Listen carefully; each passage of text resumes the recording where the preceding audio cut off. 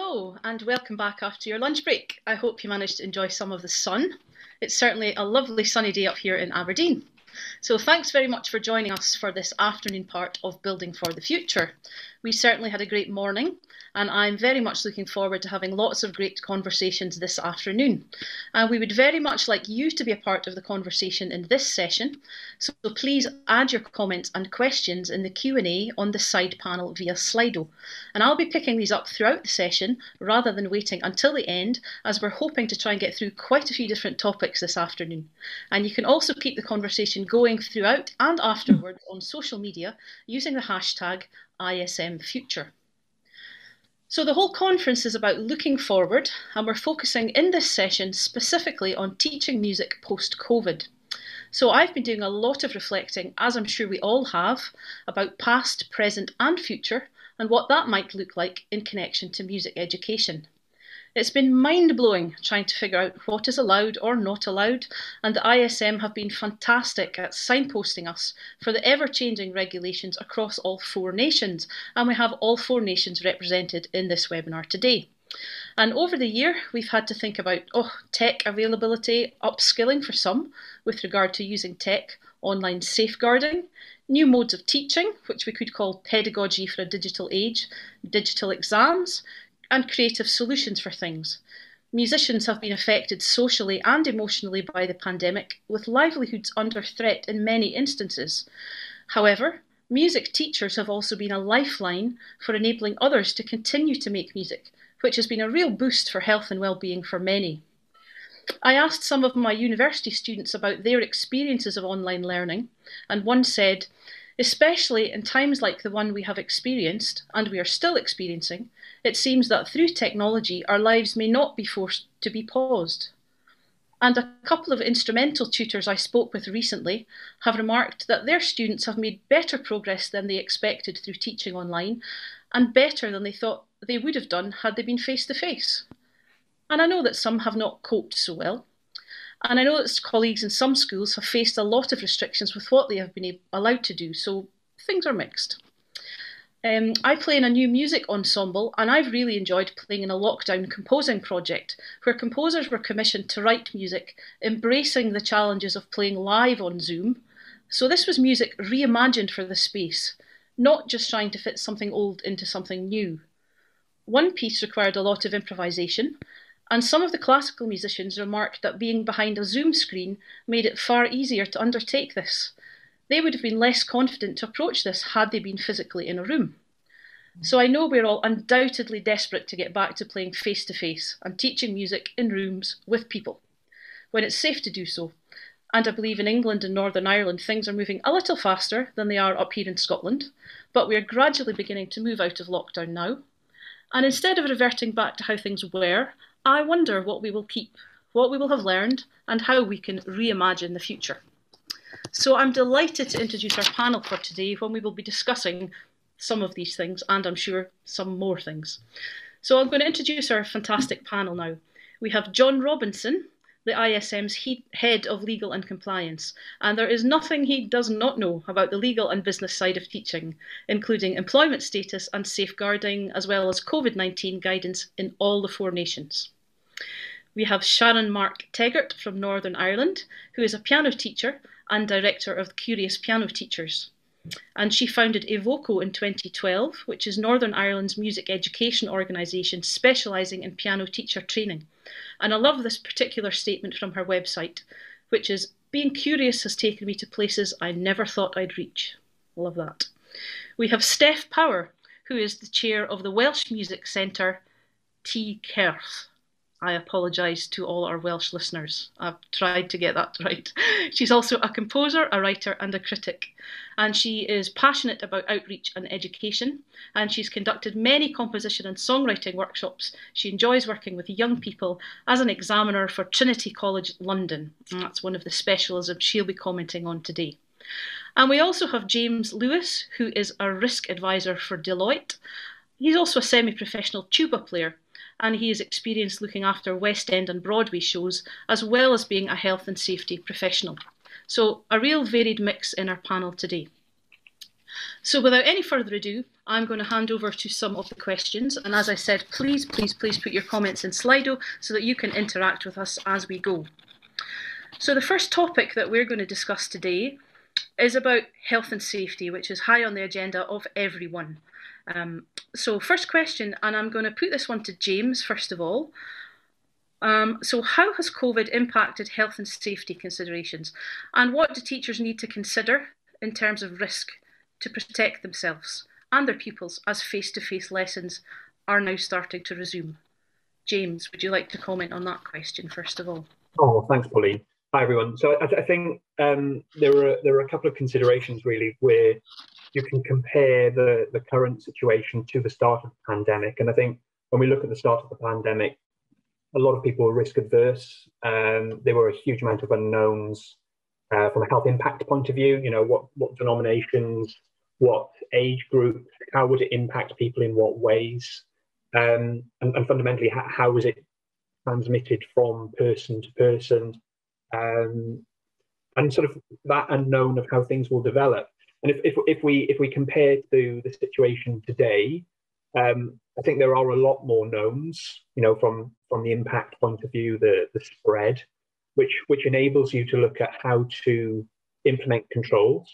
Um, and I think if you compare that to, to, traditional health and safety, um, it, it, sort of almost sits a little bit out outside of the wheelhouse because it's it's more about occupational health, and it's more about looking looking from a, a health perspective of how to control infection prevention and control uh, principles or how to implement IPC principles rather than traditional health and safety control measures of risk assessment and, and, and risk. And but, but saying that, there are still, I, think, a considerable number of unknowns because, as we hear on the news, there are of various um, variants with specific variants of concern, and the government is still working out how those variants impact on individuals. So I think although we are now sort of more risk accepting, we, we understand a little bit more, perhaps which we are taking a little bit more risk in, in the way we're doing things, um, we still need to be incredibly careful and, and implement some of those controls, which, which we can go on to talk about. And I think that that fear of the unknown instills um, still quite quite a bit of fear, which impacts obviously on psychological health, um, which which in turn then impacts on our physical health because both are intrinsically linked. You can't you cannot impact your your physical health without impacting your psychological health and vice versa, positively or negatively. Um, along with that, I think one of the reasons we've got that bit of a fear of unknown is there are still confusing messages out there. There are still myths out there, i.e., you know, what what what controls work, what what controls don't work, how, long can we play for, how can we, how long should we break for, how frequent should we break, um, and then again that, that that lockdown that we've the, the numerous lockdowns that we've had, again impacting on on psychological and physical health.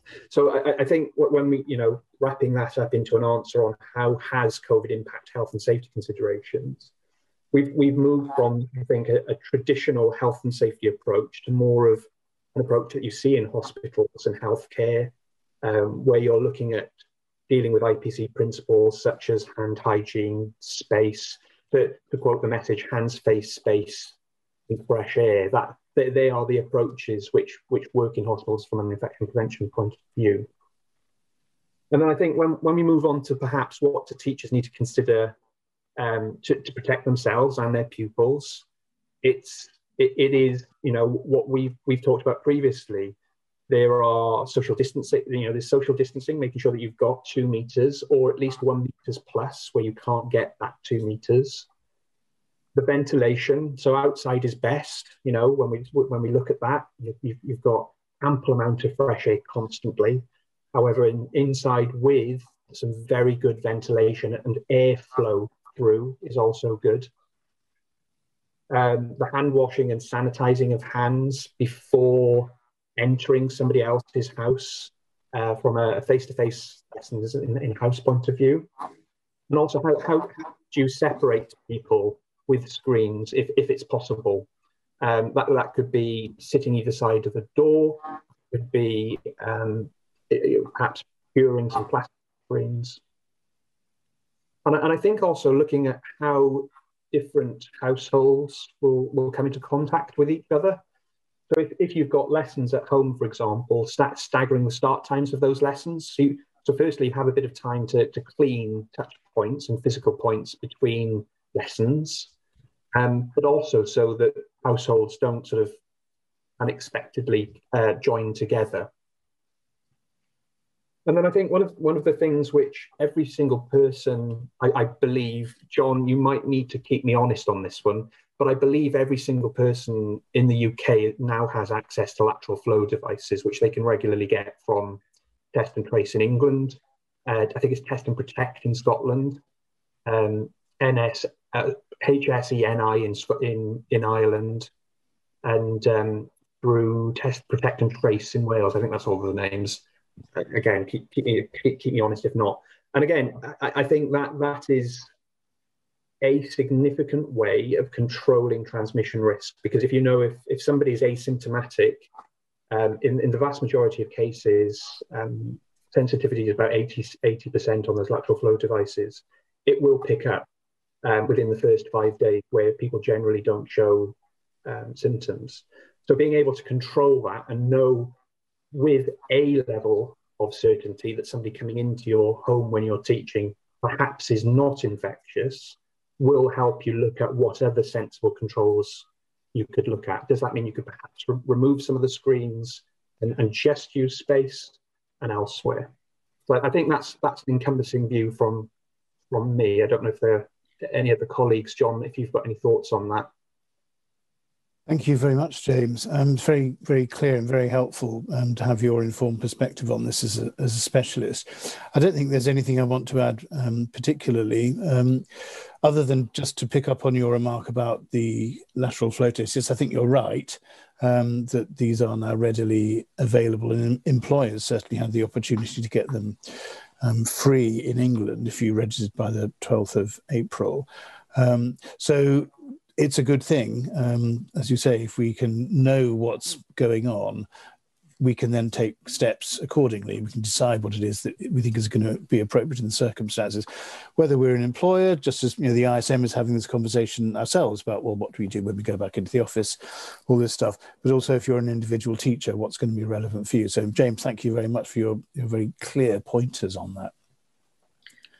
Thank you, uh, James and John. Could I um, just check? There, there's one um, question which came up in the chat, which I think you have answered, which was how safe is it to teach at home in the present situation? But one thing which um, may be worth um, just talking to is if if somebody is teaching in somebody else's home. What, are there any other considerations? Because I know many people travel to teach in other people's homes. Are there uh, extra things which people have to consider? So I, I think it's it's making making some of the unknowns known. It's it's perhaps asking before you get there. Has anybody in the household had any symptoms or signs of symptoms in the last X amount of time frame? Again, any any previous teachers or any previous um, pupils that have been there that have potentially had signs or symptoms that have been picked up during the lesson, possibly even um, and, and making a sort of informed choice on whether or not that's that's right for that individual and how that that teacher is impacted and their family is impacted. I think that's one element of it, and, and I think um, n- never assume. So so never assume that something is clean. Never assume that somebody has gone to the trouble of, of cleaning touch points and the area that you're going to be in.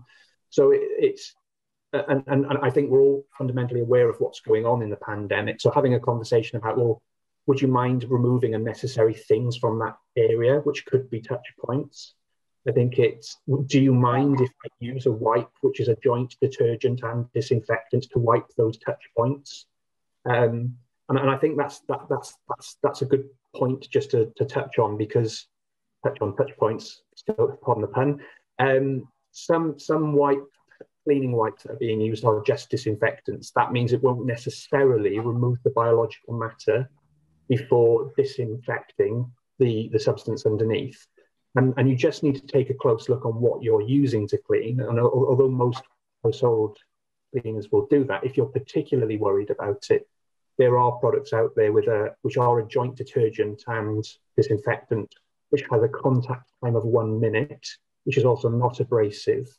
So any viral matter that is within that area will will be killed and removed by the time that, that product is dry. So I think it's it's make unknowns known and never assume. So um, try and make space. Try not to touch things. And, and if you're unsure and, and have other health considerations, really evaluate is that the right thing to do for you. Bear in mind that the national prevalence is very low at the moment, which is why we're coming out of lockdown as well. So taking into consideration that external view, if you've got oversight of what's happening in different geographical locations, local authorities, and, and parishes within local authorities, also take a look at some of that data to perhaps reassure yourself if that is the right thing to do. Thank you. Um, we have another question, um, and this would be for people um, teaching from home. Somebody saying, if teaching at home, can students pass masked in the corridor? I guess if maybe they have a waiting room at home, and so what's the procedure for you know one in, one out, um, and and that sort of thing. Again, I, think if, if, if you've got the benefit of being able to have a one-way system at home, I mean, it may sound a bit amusing, but treat your home as a workplace because it technically is, I think, for this purpose if you can if you can instigate a one-way system that's great. If you can teach near the front door and ask people to wait outside while somebody else comes out let some leave some time to clean that is also probably a, a, a more suitable way of controlling that. And then i think fundamentally if if you've got you need to think about the total number of people in that space and what ventilation there is and the risk. But if you've got a relatively small home with small corridors in, in, in my mind, it's perhaps a little bit more sensible to ask people to wait outside than than than uh, because they may have come in a car. There may be a bus stop that they can sit underneath. If if you have the space, let them in and ask them to wait somewhere. Um, try not to get people to pass because the whole the whole purpose of this is one meter plus um, with additional controls, or at least meter social distancing. Mm. Thank you. We've got another question. I, am going to possibly keep this as the last question before we move on. Um, uh, but we'll see how it goes because I, I, feel we could probably spend quite a long time talking on, on this one. But another question is the view of the panel that private teachers should be implementing a form of passport by insisting that pupils should demonstrate clear results from lateral flow tests, and how difficult or fair would this be to implement? So I think we need to be very, very careful because there are a lot of ethical questions here, and and this is a national issue, not not just local level at teachers. I think you can certainly ask someone to, if they're comfortable, share share their results and when that test was done. I, th- I think that is a sensible approach. Um, and I've just double checked, lateral flow devices are freely available for everybody to get online in England. So again, that, that is that is a, a great measure to, to, to control it. I think if, if you have somebody that is refusing to tell you, there is there's probably an underlying reason why why they're refusing you, not necessarily because they're positive, but they just might not be comfortable in sharing um, th- those types of um, that type of information. And and to a certain extent, I, I don't think you can push them to try and tell you. You'd need to make an educated decision on what's best for you and, and the, the pupil, um, whether that's the right thing to go ahead. Thank you. So I'm going to move us on to the next topic, but do keep putting your comments about this topic in the chat, and if we have time again at the end, we can pick them up and we can try to respond to them. Um, before we move on from this topic just now, um, John, you can perhaps keep us right in this that it's the fact that not everybody can teach face to face in all four nations yet. Um, is that is that the case? Just to clarify that. Yes, that, that's right. The um, at, at the moment, um, you can't teach in indoors in Wales, I think, um, for except in very specific circumstances. Um, and we've got the detail on our website. Um, so yes, it's a, it's a confused picture at the moment. I just wanted to pick up on something that that James was talking about there very quickly, if I may, um, just in terms of asking people for what's effectively health information. As you may know, under the General Data Protection regulation or UK GDPR, as we now call it, as we've left the European Union, um, health data is considered special category data. So unless you have a, a good reason for doing it, we're not supposed to process health data. So we may need to help members um, by providing a standard written policy that they can use, which is obligatory if you're processing this stuff. Um, so I will make a note of that. And perhaps, James, we can continue this conversation offline. So it'd be really helpful to talk to you about this in more detail. But there, there are some data protection implications here that we will need to think about. Thank you. Thank you. And hopefully it won't be too long before in Scotland and Wales we're joining um, England and Northern Ireland in some more face to face teaching. Um, so let's move on to our next topic for now, um, um, which we're going to look at what will music teaching look like from August, which is generally after the summer when schools tend to go back to school. So August in Scotland, September, I think for our other nations. But what is the future of online teaching? Are we headed for a hybrid or face to face or online model? Um, this could be individual, it could be group lessons. We've all got different contexts. Um, so, really, the future after the summer break, when we're a bit more normalized and this phrase, the new normal, which we're probably fed up listening to. But um, Sharon, would you like to talk to that that question? So, kind of August, September, when schools are are back. Um, yeah, for sure. Mm-hmm. I think what the point that you've just made there is is very very important because even when um, towards the end of last year, some instrumental teachers were going back to face to face lessons again. It was the one thing that everyone realized very quickly. This is not back to face to face lessons. Mm this is a very different experience. Um, you know, you had all the screens, you had all the sanitization, you have, you know, are you going to um, leave that little bit of fallow time in between students, the cleaning time? It really, I think that is that is one of the first points to make that currently and for the foreseeable future from August and and, and onwards this for as long as COVID is is here and around to haunt us. We are not going back to face to face as we knew it before we went into lockdown um, at the beginning of last year. And that has just posed so many challenges to teachers.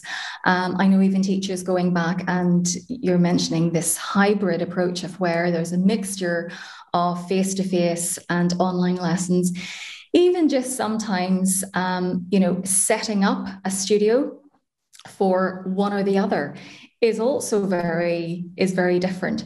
So um, you need to be very very organized in the way that that's done. So are you going to kind of have your online setup for one week um, you know with cameras and everything all ready to go um, and then the next week where you have got the screens? Um, i think the the expense of this comes into it as well because you know I'm a piano teacher, so that is really meaning in an ideal situation you have two instruments. Is your room large enough to to cater for that?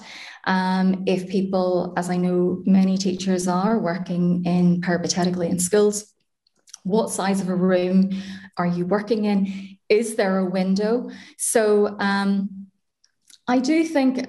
I mean, I will come back to saying that um, obviously that I know about piano teachers the most, but I think it just goes right across the, the board for instrumental teachers. Um, but certainly, piano teachers have become very, very adaptable. I mean, a massive cheer to the, the teachers and, and what they have been, been doing and achieving. Um, it's it's quite interesting when we look back to the Victorian model of a piano teacher. You know, what did that look like um, back in the kind of you know the 1800s?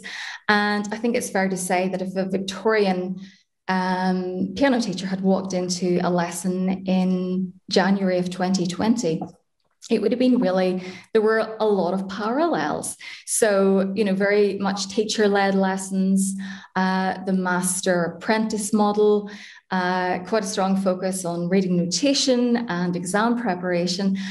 And then COVID happened. And suddenly um, we have things like, I feel more student led learning. Um, because teachers have been in that very vulnerable position. Um, and I think sometimes I liken it to the experience if you're familiar with uh, It's a Wonderful Life uh, with James Stewart. Uh, if you're aware of that old uh, black and white movie, um, it's that moment where they're all on the dance floor and the dance floor opens and there is a pool, and people are thinking, do I jump in? And, and I think that is kind of very much like what it's been like for instrumental teachers. You know, do I go and get online? Because I, I can't, I can't teach unless I'm online. Um, so uh, yeah, so more student-led learning. Um, I think we're we have become much better at asking questions in lessons, um, giving more direct and more purposeful feedback. Uh, we have become a complete whiz at digital devices, um, technology. Um, and I think it's, it, you know, it's not as though it's not been there before, but it's opened our eyes as to how we can do this. Um, it's developed our listening skills, you know, whereas I know there could very easily have been that before, you know, looking at students again, I'm just going to use the piano teacher illustration, looking at their fingers rather than actually looking at the students themselves. And, you know, that has changed. We've sometimes, you know, students will just set their iPad up and we don't, you know, get to see the keys. We don't get to see what they're doing. So we've had to develop our listening skills, and develop our planning skills. Uh, we've had to develop uh, multi-sensory strategies for learning as well because we know that lessons do not online lessons do not work very well when certainly for teachers if you're sat there you need to get up you need to move. Students need to be engaged you know whether it's i don't have one right now but whether it's a puppet comes up or something you're doing something getting them to say the letter names of a scale rhythmically and they stand up and they sit down just to get the moving there for both the teacher and the student because otherwise it's a real struggle. We can't sit you know this is this is not what we're where our brains are built to do. So to keep firing up the brain um, and i know something at the curious piano teachers what we have noticed is the complete explosion I mean, an absolutely phenomenal explosion of the interest back last uh, March, April in professional development and how do I do this? How do I do this better? Which I think up to that point is something that um, it was it was always very maybe easy, maybe too easy to put students in for exams and to keep parents happy and you know for there to be that sense of progression in that way. So um, yeah, so face to face is not normal face to face. It will not be. I, I I'm guessing for quite a long time. Certainly, as long as there is this risk um, of COVID, and even knowing instrumental teachers personally who have who have long COVID and they're out of work because they're really not well um, and the kind of the financial implications and the stress of that.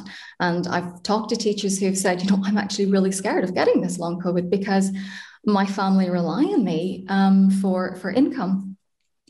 So um, I do think it's a time to, to look at the research and to really challenge what we do.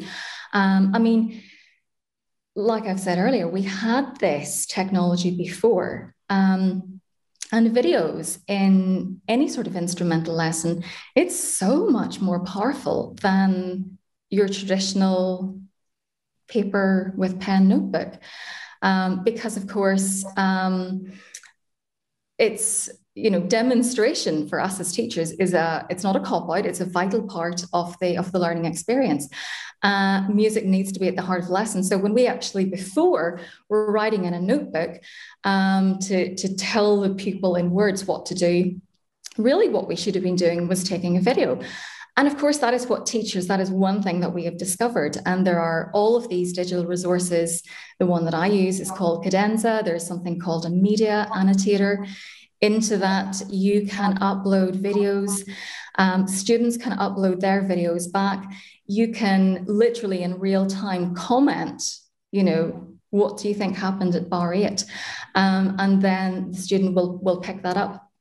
These all existed before, but it is the situation that we've been placed in that suddenly we have, um, I think, as, as a whole community of instrumental teachers, we have we've just been pushed into to really taking it on board. And I think as well, and this is the importance of being part of a community and no longer being that instrumental teacher who works in isolation, because that really doesn't work anymore. We need to be collaborating. Um, I mean, I know when Dr. Sally Cathcart and I set up the, the Curious Piano Teachers, um, it'll be nearly six years ago. And I mean, we thought, are we crazy? You know, is this possible? Can we do this online? Because before we had been used to being in a physical room with, you know, with teachers there, with a piano there. Um, and, you know, little we're, we're, you know, little did we know that six years down the line, this is actually what learning would look like. But um, having those communities, um, it gives us the accountability. And I know for both Sally and I, it was that accountability of, is this a crazy idea? Should we do this? But we decided together to do it. And that's really powerful because I think it can be very scary. There's so many things that we would never do by ourselves if we're just by ourselves. And I know of other instrumental teachers who have set up their own businesses throughout, again, you know, as over the past year, um, responding to the sorts of um, problems that now exist and finding solutions and then going out there and creating online businesses. So I do think it's about um, there, there, are so many creative business opportunities for instrumental teachers. Um, let's maybe move away and rethink this kind of traditional one to one 30 minute weekly lesson you know, what would it look like if we had online courses um, with peer support groups? You know, again, adults is really interesting in the US. Uh, apparently, the sale of pianos has gone up by 60% over the past year. You know, adults are, are coming back to this. Um, subscription based membership sites. Um, and again, you know, a hybrid lesson. So it's maybe, you know, rather than just one to one, maybe a mix of videos, um, online group lessons, you know, where we can put our students into, into, into breakout rooms and they're actually learning collaboratively together again, not something that has happened a lot in the likes of piano lessons until this year. Um, and then, you know, yes, have your odd um, one-to-one face-to-face lesson, but maybe a mixture of, of online lessons as well, um, with an online notebook to support the learning. And I think it is it is the time for us to really think outside the box um, because the opportunities are incredible. A year ago, we were, you know, our our audience was, you know, is, is maybe, you know, people who would live within a 20 mile radius. And now, I mean, I have students who are based in Italy, in Kenya, um, as well as you know the UK and Ireland. It is it has opened up a whole new set of possibilities um, that parents are happy with as well. Sometimes they actually like the idea that they can be at home, moving on with things, and um, you know, but kind of checking in with the lesson as opposed to actually driving to someone's house and having to manage the the two other kids in the car. So it's definitely a new world. And I think we have got to just be really excited and and embrace it. But I do highlight the importance of being part of a community, connecting with others, because otherwise we will not believe in ourselves. We will lose the momentum. Thank you. Thank you, Sharon. That's some fascinating stuff just shared with us all there. Great to get some practical strategies and to hear really good examples. I was loving even the, you know, the we were writing our instructions in a notebook at the end of a lesson, and now the just the really practical is, you know, real time commenting on video and, and things like that, which are fascinating. Um, I wonder, Steph, if you have anything that you want to um, add to the discussion on this one. Well, I, I mean, I, basically, I just want to echo what Sharon said about saluting teachers, actually, who've been fantastic um, and to hear these wonderful kind of creative responses to what's been a very traumatic situation, actually, um, I think is really, you know, some actually some very exciting things coming out of it. But I think, you know, Pauline, what you were saying in your introduction um, regarding online exams, with, you know, some people have really taken to them and some people have found them incredibly challenging. Um, and I think that that's, um, that remains true. I think teachers have been absolutely amazing in adapting their methods and in preparing their uh, pupils and candidates for exam. And um, there have been stumbling blocks along the way, and some some like it, and some really don't like it. So it's a question of, you know, just as the situation is evolving.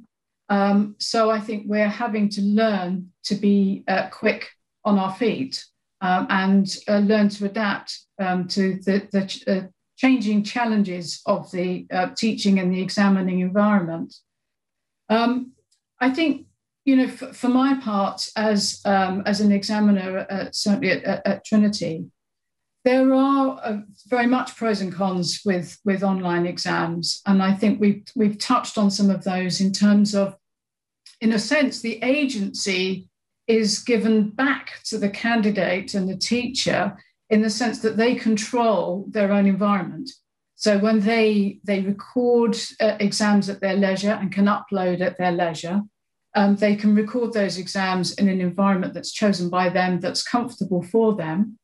Um, but of course, you know, what's missing is that vital ingredient of interaction. I mean, many examiners will say that actually they love examining because of that interaction. It may be a very few moments that you get with a candidate, but for me as an examiner, it's their time. It's the it's all about the candidate in that moment. It's their time. They've practiced, they've rehearsed. They're they're usually very nervous. They come in, and often they actually really want to show you what they've done and so for me, it, that's part of the privilege of being an examiner. Um, and so it's a, a, great a great pity that with um, online exams you don't get that interaction because you're sitting behind a screen. The candidate has recorded their exam um, and they're uploading it to an unknown person. So for me, as an examiner, the challenge is how do you put that humanity into your response, into your report writing, um, into your, um, you know, what you can do to, to, to assure the candidate and the teacher that actually they've been heard. It, that's that, for me, that's absolutely vital because music will always remain a social art. And so, how do we put that vital humanity into that online examining process? And I, I think that going forwards post COVID, um, we have learned a lot. One of the fantastic things for me about um, digital examining is, of course, I mean, I examine, and in the past, I've you know I've been overseas. I've I've examined in India and uh, Hong Kong and and um, in the Middle East, lots of different places. And um, what I'm very aware of with the digital process is that it's the same for you know for absolutely everybody. Everyone, every single candidate has got the same challenge of how do I operate the technology? Where do I point the camera? Um, how do I make sure that my hands are in view? Um, am I supposed to address the camera? Am I supposed to not address the camera? You know, all these all these sorts of um, uh, different kind of individual ways of tackling things, and I think patterns are emerging from that.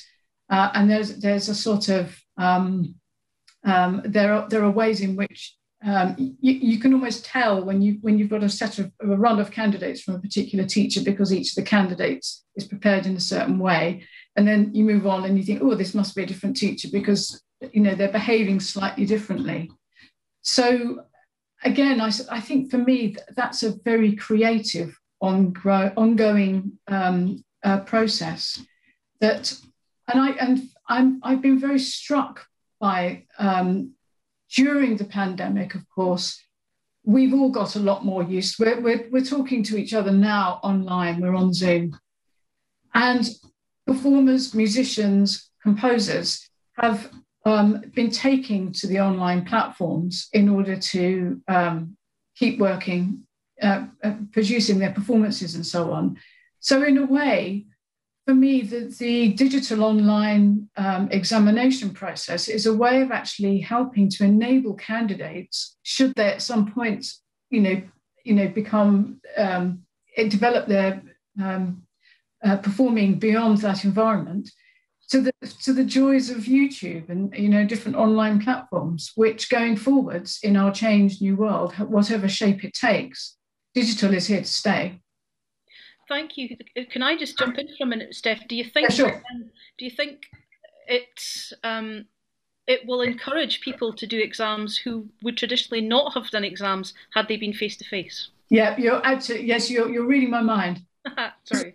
Because I think that um, um, it, it, it's it's almost enabling people who would would never have thought, oh, I, I you know, the idea of actually going to an exam centre um, to go through the, the sort of formality of that, it's I, I, th- I really think it's actually opening up um, um, the possibility of sort of testing yourself out.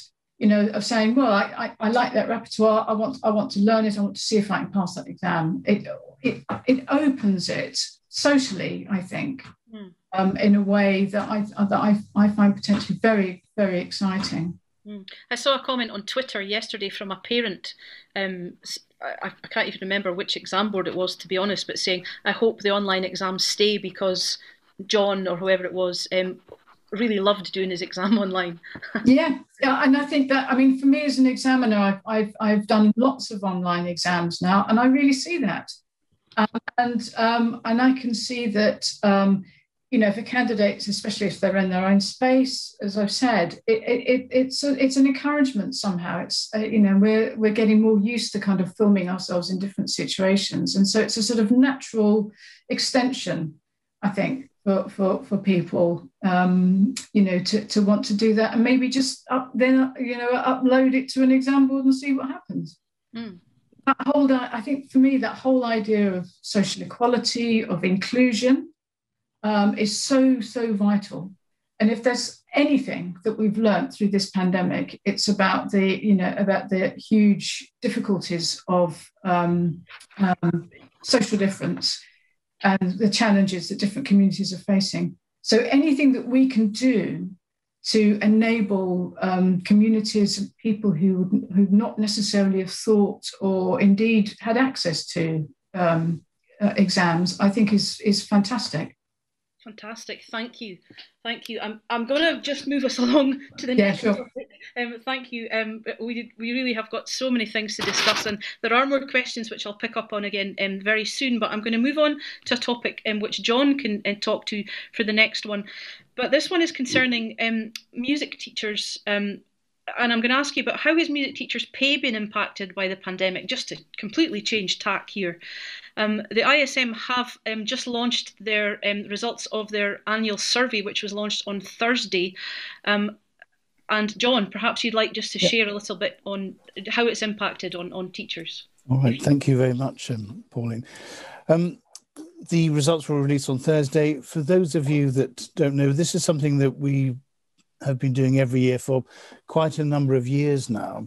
Um, we were very interested to see what would turn up this year as a consequence of you know, the pandemic and all the other changes that we know about and the impacts that we've been hearing about.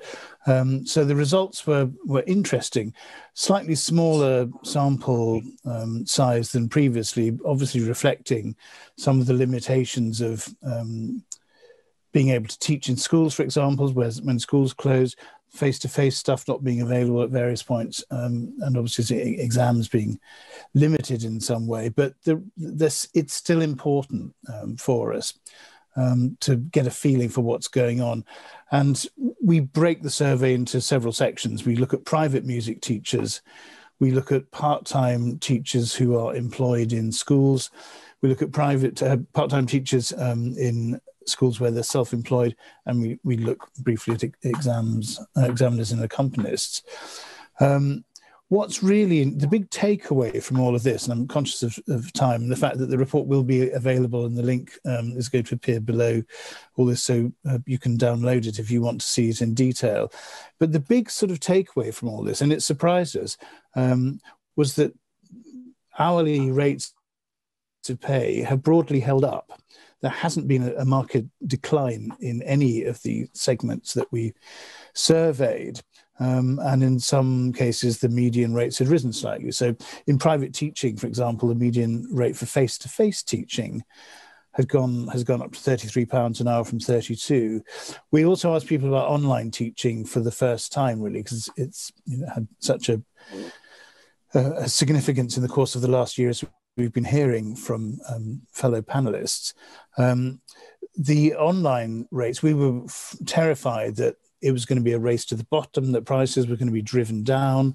Um, but in fact, the survey showed that the median rate is only one pound less than the face to face teaching. So we think this is really important because it tells us a lot of things. But one of the most important things is that the value that people at large place on music and music teaching. Um, mm-hmm. I think picking up on the points um, that, that Steph was making just now, um, but also Sharon in, in her um, analysis. There's been so much creativity, so much energy, so much courage by music teachers in making this work. Um, and likewise, we salute all of you who have, have taken to this. It cannot have been easy, but what we've heard time and time again, and just today in the last half hour, is the amazing things that people are doing because of the humanity and the belief that they have in music as a powerful, uh, uh, an agent for powerful transformation, as well as a, an end in itself. I mean, the fact that the rates are holding up, we believe, is a recognition back of that from the, the public at large who want to pay for lessons. So it's very, very interesting um, that there is, is no kind of diving down of rates. Um, so we would encourage you all to you know, maintain, see it as maintaining your value. Um, that's what we're getting back from um, these survey results. It's a really good story. I think at the same time, and again picking up on the, the, the, positives in digital, having overcome some of the challenges, is that the landscape is transformed. It's going to be part of what's going on forever now. It, it offers all sorts of opportunities that, that Steph and Sharon have described. And this is why at the ISM we're thinking very much about you know this whole digital transformation as central to where we go next in providing services to support you all. Um, so we need to understand the things that you're doing. So the opportunity to hear from specialists in the field is great because we've got lots to take away from this. But what more can we do to support you in this? Are there things that we don't know about that we should know about? You need to tell us because we want to hear because we want to you know, put you at the center of what we do as always. Um, so your feedback is going to be incredibly valuable as we set about a digital transformation um, to support you all.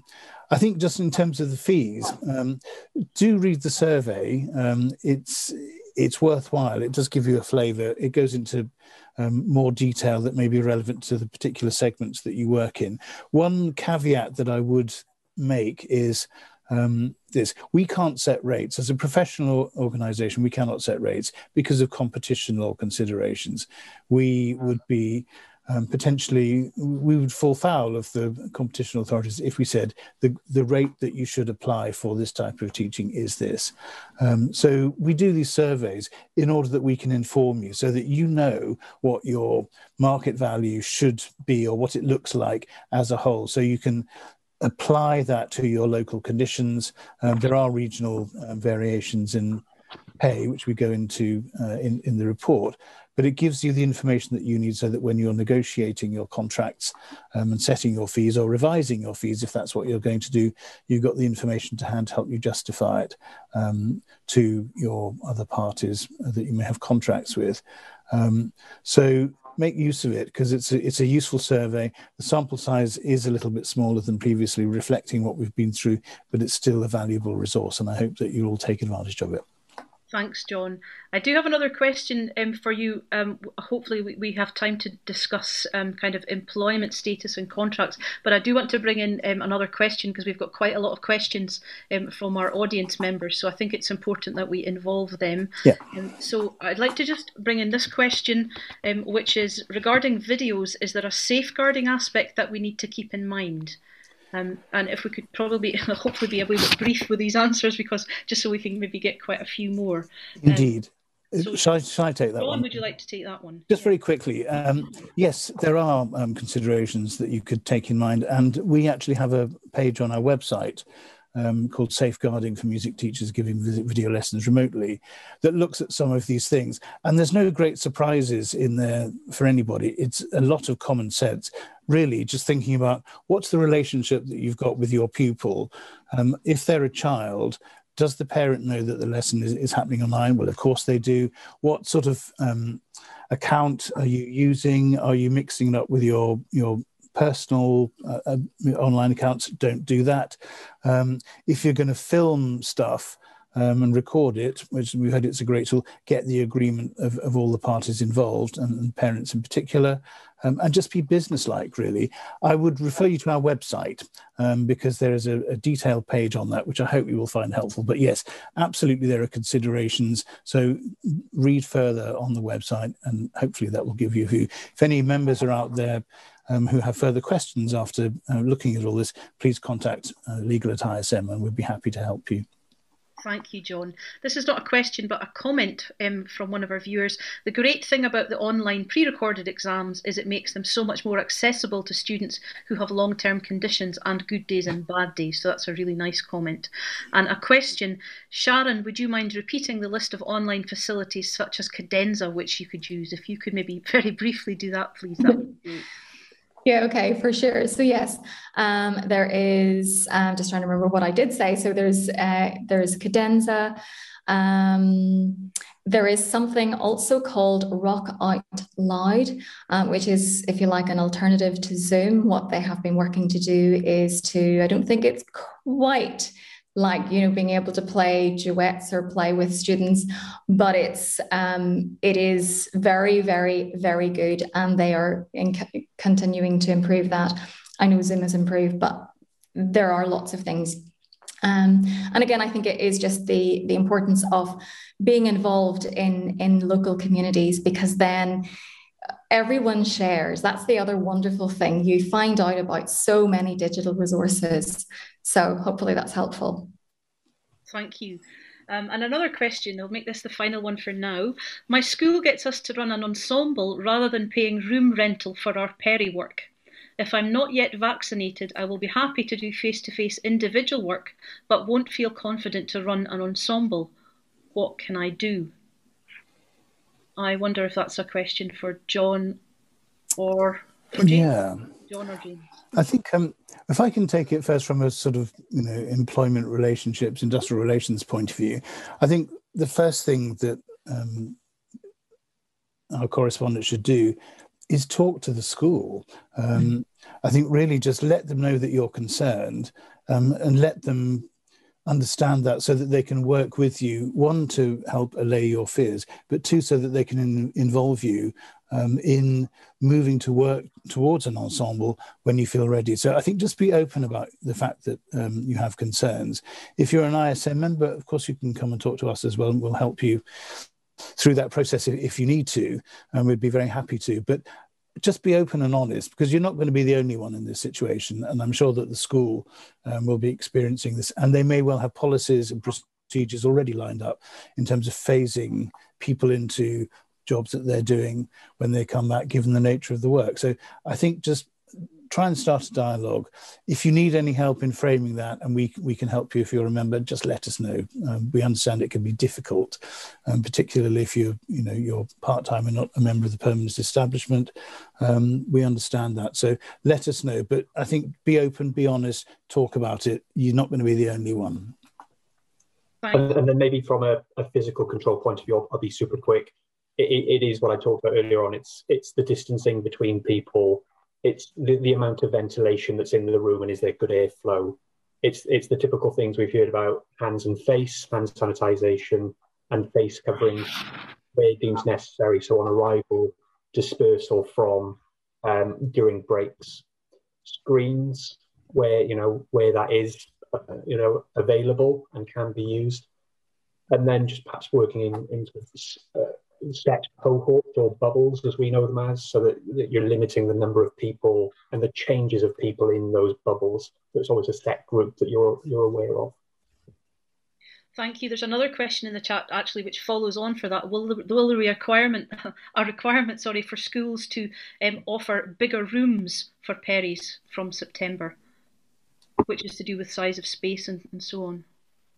I, I, think schools are, are, possibly limited on space already in most cases, and, and I, I think it's more of more of a what can you do in the space that's available rather than where can we procure other space because I think if, if schools start to procure other space, that'll that'll um, remove some of the finances that they have available to pay peripatetic teachers and others, mm. so that may reduce the amount of lessons, and, and I, I, think that would be a shame. Okay, we're going to have to be super, super quick here, John, with this huge question. So this is a bit of a tall order. Um, but um, right. um, COVID-19 has caused many schools um, and hubs to move teachers onto zero hours contracts um, and self employed arrangements. So, what do teachers need to know about their employment status and the rights and protections that they have? All right, this is a very big question. Um, I think I think that the headline that I just want to put up front straight away is: if you find yourself in a situation where you are being moved from an employment arrangement to something else, um, if you are an ISM member, please contact us because it may well be um, that despite any um, form of words that may be in the uh, revised contract that you're being offered or revised arrangements that says that you are self-employed. Um, the reality may be that you are still considered as employed in law. Um, it's not an easy subject to, um, it's not an easy question to determine. It will turn on the facts of each individual case. But we would say get in touch with us because aside from anything, you may be being made redundant from your old job. Um, we need to know whether that's been conducted properly. Um, you may be um, still employed, or you may at least have workers' rights, which is what um, has been in the news recently following the Uber case, which is actually a very important case. And there are a lot of parallels, I think, with um, many of our, our teacher members and music teachers generally. Um, there is a blog on the subject which I wrote that summarizes the rights that you have as workers. And important among these are things like the right to receive annual leave, the right to benefit from the working time directives in terms of um, you know, the, the maximum number of hours of work, um, the right to employ pension contributions and so on, um, but also to a written statement of particulars from day one. All of this stuff is really important. You may still be entitled to this, notwithstanding what the uh, employer or the person engaging you is telling you about being self employed from now on. Um, but there's a host of issues that fall out of all this, which, given the time, we're not going to be able to discuss now. But the takeaway is if something is changing from employed to something else, if you're an ISM member, get in touch with us. Um, if you want to find out uh, uh, more about the rights for workers and the impact of the Uber case or the implications of the Uber case, um, our blog is available for everybody on our website, and it may give you what you need to go and start talking to your employer. Um, but come and find us um, if you're a member because we want to help you. We're dealing with lots of this stuff at the moment in, in my team, keep them very busy with these cases. So again, if it's if something's changing and it's changing from employment to something else, let us know. Fantastic, thank you. Super headlines uh, there, John. Uh, we've got time to squeeze in, and there's there are still lots of questions coming oh, in. try and get through another one. Is it possible under the guidelines to teach from a rented room in a music shop, and what safety measures measures should be in place? Um, I'll take the um, bit under the guidance. I don't know whether this is in England, um, but let's assume for the purposes of um, the argument uh, that it is. Um, I can't see any reason why you can't teach in a music um, space, but the issue then arises what are the measures um, that are going to apply uh, in that space um, to make sure that everything is safe. So this is sort of James's area really, and I think it's going to all the things that he was talking about earlier today will apply. So what is the what are the touch points? What are the routes in and out? Do people meet? Do is there crossing? What are the arrangements? So James, I don't know if there's anything that you want to add to that, but um, in terms of the space itself, providing it's COVID safe in England, there's certain I, I can't see there's any reason why you shouldn't do it. And I, I, think the only thing really to add is, is what what is the in this the landlord doing in some of the other areas that you might or your students might come into contact with that you don't have control over. So I, I think there's a bit of communication, communication and cooperation that needs to occur. And and again, it, the best way to sort of document that is in a risk assessment. And there's a really helpful guide that ISM have put together based on the webinar that we did last last August about how to do that. And, and that would ensure that everybody is aware of the controls that are in place, who is responsible for what, um, and fundamentally how everyone, including the, the people coming into the music shop, as well as the students that you're looking after, uh, are being kept safe so far as reasonably practicable to throw a health and safety legal limitation phrase on it. Thank you. Okay, we really are out of time now, so thank you very much, everybody. That's been a, a fantastic discussion. And I think just to try and sum up, um, as I think it was uh, Sharon who said that once we go back to face to face, it's not normal face to face. So we've we've got had lots of things to consider this afternoon, um, lots of really practical strategies to to keep us healthy, to keep us safe, but also to have lots of creative ideas for going forward. Um, to incorporate digital into what we do to make it part of um, more more strategies and more things just to, to go forward into the, the new normal face to face.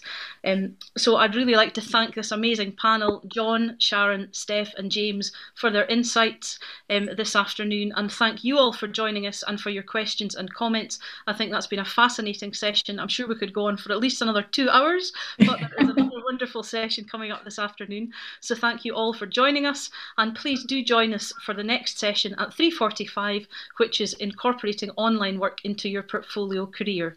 So thank you all very much. Goodbye. Thank you.